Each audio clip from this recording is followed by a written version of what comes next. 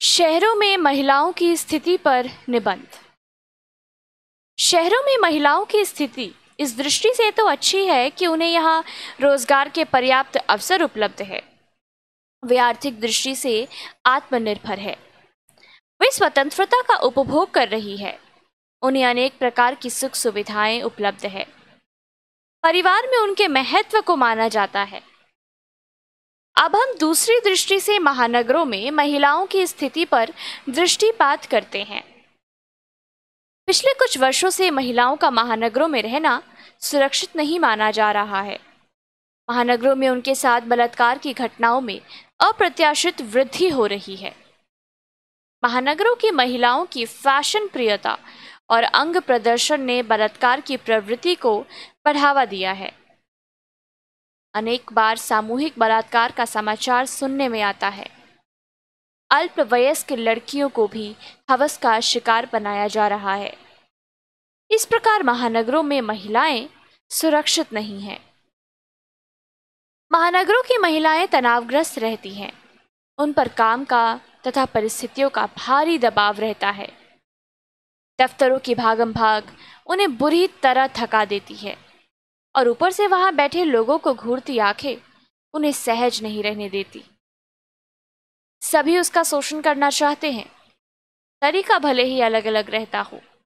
महिलाओं को व्यवस्था के चलते यह सब झेलना पड़ता है। महानगरों में महिलाओं का घरेलू जीवन उतना सुखी नहीं है, जितना वह ऊपर से दिखाई देता है। अधिकांश पतियों का व्यवहार उनके प्रति शंकालु एवं संवेदनशील होता है।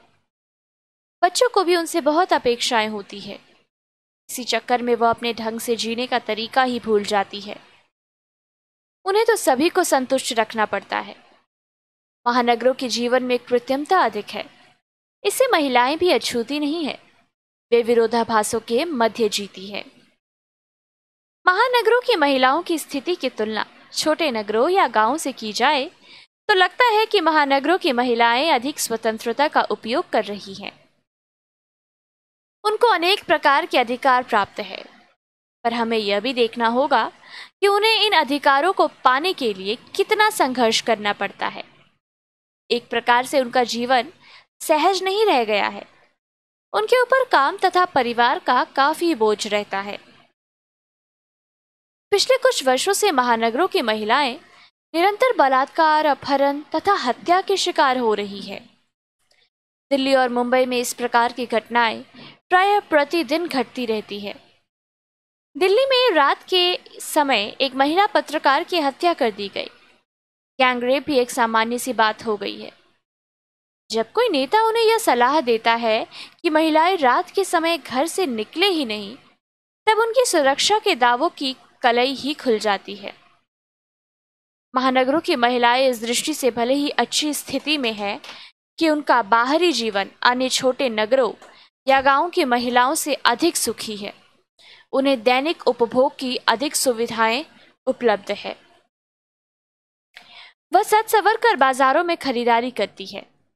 उनके बच्चे अच्छे पब्लिक स्कूलों में पढ़ते तथा वे नौकरी करके धन कमाती है। इन सब बातों के अतिरिक्त महानगरों की महिलाओं की सुरक्षा के प्रति सरकार को अधिक ध्यान देने की आवश्यकता है।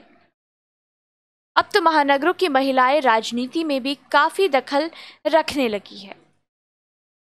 वे कई राज्यों में मुख्यमंत्री पद तक संभाल रही है, अतः उनकी सरकारों को महिलाओं की स्थिति में सकारात्मक सुधार लाने के प्रति अधिक प्रयत्नशील होने की आवश्यकता है।